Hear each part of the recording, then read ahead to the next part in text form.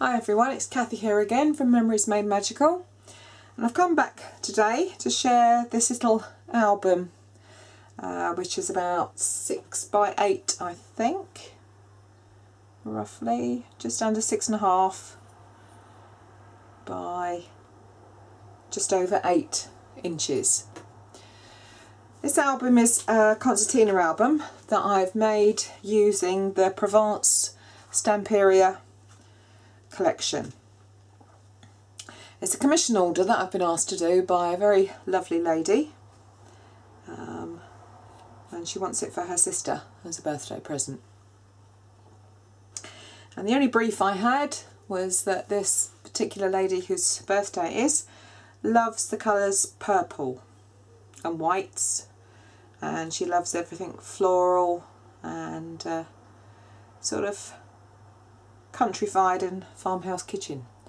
So I thought when I saw the Stamperia Provence collection I just thought that was absolutely beautiful and I thought it would lend itself quite well to putting um, white card behind to use for the album covers and the pages. I think you might know by now that I like to use a lot of black card on my albums because I think it actually makes everything pop but because of the more gentle colours the lilacs and the pinks and the purples I thought white would be better. So I've also put some pearlescent white card to make the album covers and the pages. So as I said it's a concertina album. So I've got ribbons that tie both sides.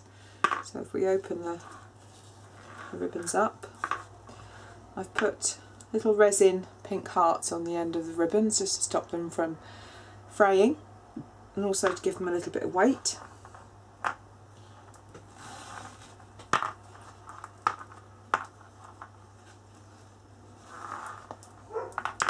So it's going to open it up.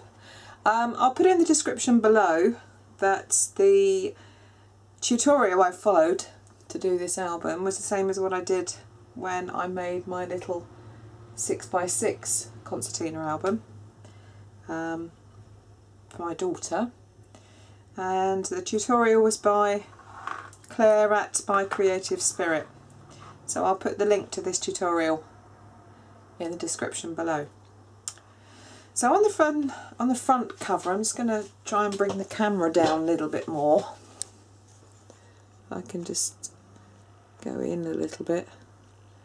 You'll see that I've put some tiny little um, rhinestones or crystals just as little accents. And I've also going a little bit further, I don't know if you can actually see, I've also put glossy accents just on some of the the lettering and some of the flowers. And also on the um, butterfly. And just picked out also just the lid of the perfume bottle just to give it a little bit more detail. So as we open the front cover, move that over so you can see it all and I'm just going to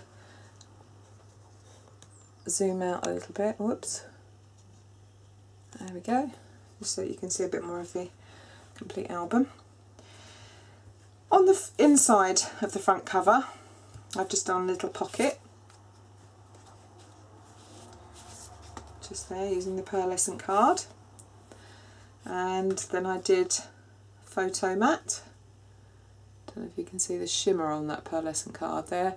The card I used was uh, Centura Pearl by Crafter's Companion which is a lovely card.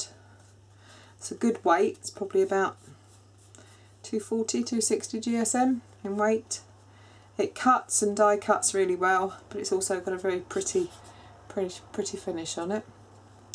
So then I just rounded the edges and put some uh, of the design paper on top just to make a photo mat to slide into the pocket there.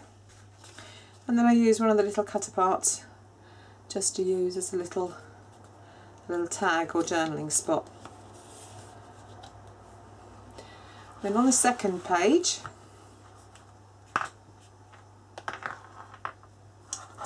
out the way. or the first page should I say, I've just used a couple of the little journaling spots again and I just stuck them with a little tab just under the under the paper. I left a whole page there just for some nice photos and then these two little things here just for some interest but also as journaling spots for the photos.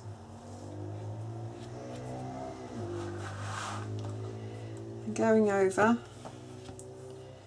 on the next page I just left as a beautiful piece of designer paper that came in the collection which looks like it's got lace and borders stuck to it but it is actually flat so I left that plain because I thought it was quite a pretty um, pretty paper so I left that plain just for photographs again I put another pocket in with another photo mat which was pearlescent on one side and pretty paper on the other. Another plain page and another pocket. I've tried to keep it pretty simple because I think this lady is, is quite mature in age and I think she just likes the colours and papers and things like that. So I didn't want to make it too fussy. So again another another photo mat. But it's for all her memories for her birthday. So I wanted to make sure that there was plenty of rooms for photos.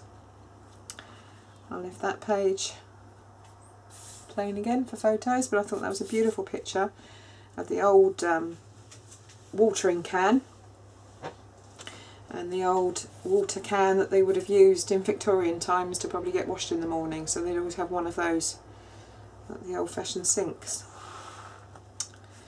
Another pocket and these are beautiful papers that you get in this Stamperia um, Provence collection. Very, very French kitchen. Um, very vintage, awfully pretty. So I wanted to basically let just let the papers do the talking.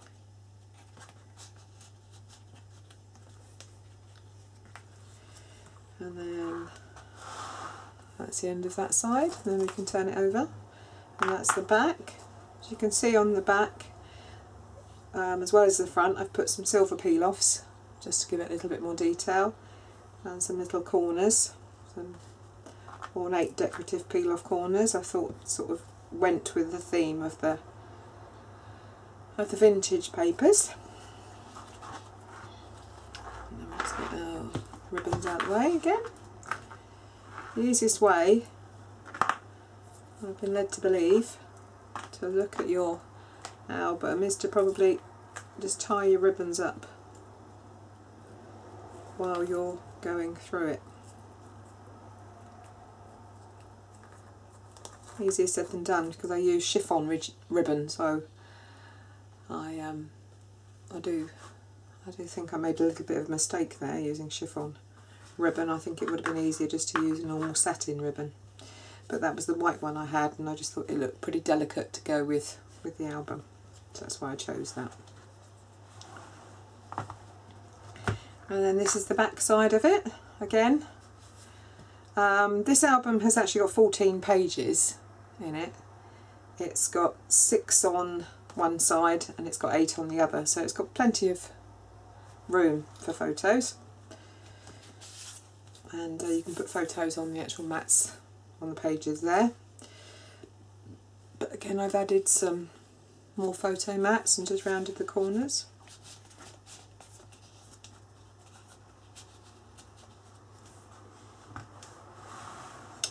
and again I've mirrored the other side with another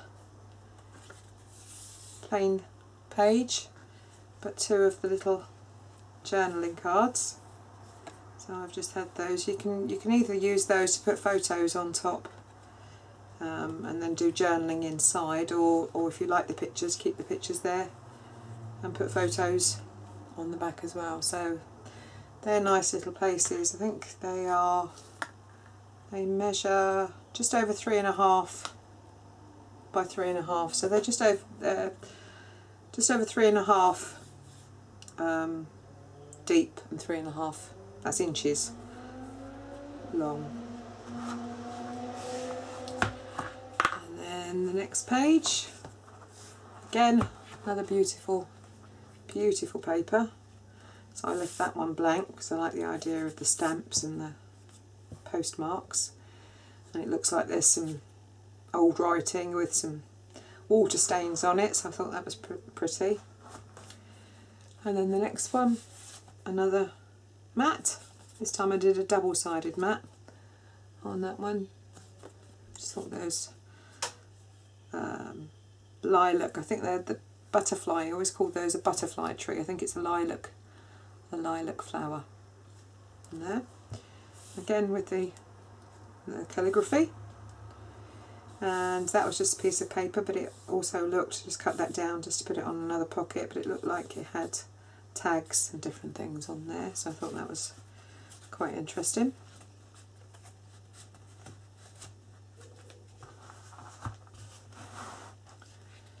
And moving on to the next page, another free page for photos. Just a nice, nice design paper.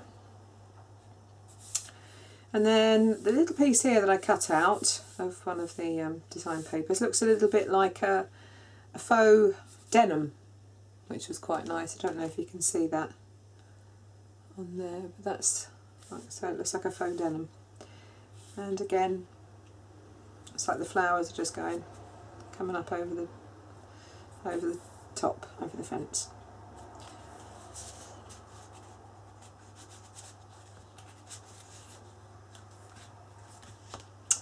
Next page. I did like the calligraphy paper as you can see so I've probably tried to use that in quite a few of the pages. There's quite a few designs of paper in this collection as well. So you can quite easily um, mix and match and just randomly put your papers where you like. And then another pocket. But this time I didn't put a photo mat. I put one of the cut apart journaling cards here which you can be used for a photo if somebody wants to. On there.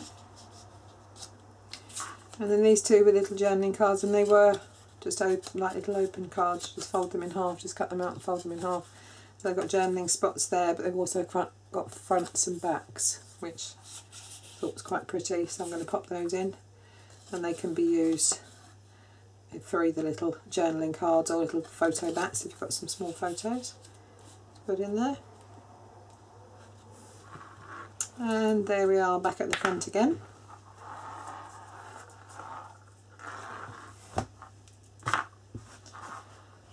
So, and I used um, the peel off alphabet, which just says memories across there. And again, I've got the silver peel off borders and corners, and I've just got a little few adhesive crystals I've got adhesive on the back which I just put in the three corners just to give a little bit more interest. And these two are two of the little cut aparts and I just stuck them on with some foam pads just to raise them, to give them a little bit more interest. And then a little butterfly that I cut out of one of the papers and just gave him a little bit, a few little accents of the glossy accent glue. So, that's what I've been doing this afternoon. I hope you enjoyed watching this and thanks for stopping by and until I come back again with another video please take care and happy crafting.